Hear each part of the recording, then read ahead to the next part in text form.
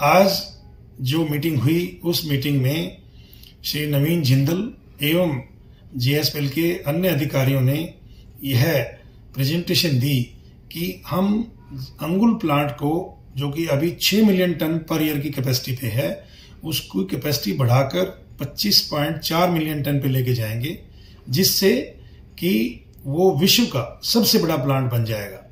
और जो इन्वेस्टमेंट है अभी तक अंगुल में तैतीस हज़ार करोड़ रुपए की इन्वेस्टमेंट जेएसपीएल कर चुकी है।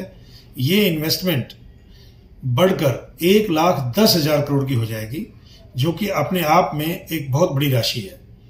जेएसपीएल एक अच्छी टेक्निक से और कम से कम जगह में प्लांट लगाएगी। इसके लिए जो जेएसपीएल के पास अभी एग्जिस्टिंग ज़मीन है, उसी ज़मीन में ये सारा 25 मिलियन टन का प्लांट लगाने की एक मुहिम चलाई है। इसके लिए बहुत सारी विदेशी कंपनी जो कि बहुत ही स्मॉल फुटप्रिंट के अंदर प्लांट को फिक्स कर सकती हैं।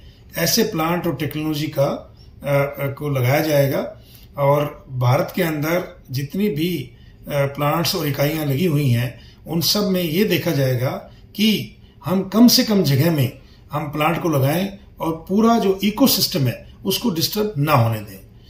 भारत सरकार की जो एनवायरमेंटल फ्रेंडली पॉलिसीज़ हैं, उनको पूरा मद्देनजर रखा जाएगा। और जेएसपीएल ऐसी प्लानिंग कर रहा है कि 60 से 70 परसेंट स्टील जो है वो हाइड्रोजन एनर्जी को इस्तेमाल करके बनाया जाए, हाइड्रोजन गैस को इस्तेमाल करके बनाया जाए।